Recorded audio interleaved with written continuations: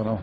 با اینکه حاتمی کیا در شب اختتامیه قایب بود و در رشته های اصلی صدای سیمرغ کاندید نشده بود اما در طول جشنواره حضور پررنگی داشت و مقابل دوربین رسانه ها صحبت کرد. خدا کنه فیلم سازای ما بفهمن داریم از X-ray رد میشیم و وضعیت ما در این همچین شرایطیه بچه ها دارن اینجوری دارن کشور رو و دارن امنیت این مملکت رو حفظ می‌کنن.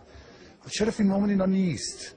بعد اون بچه که رفته توی عراق کار کرده و هر لحظه ترور امکان بود بشه تو اون واقعا باید اینا باید احترام قائل بشیم.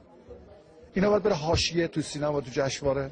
نباید بیاد تو متن. اینجا مثلا کاری من به عزیز مثل آقای حیدری ندارم. با آقای ایوبی هم کار ندارم. با آقای جنتی هم کار ندارم. با آقای روحانی کار دارم که تو این موضوع هست. که چطور میشه فیلم های اینجوری نمی‌تونه بیاد تو مسابقه؟ در نظرسنجی های مردمی فیلم های ابد و یک روز و بادیگارد با اختلاف کمی برترین فیلم های امسال جشنواره بودند. سه تا فیلم خوبی که دیدی؟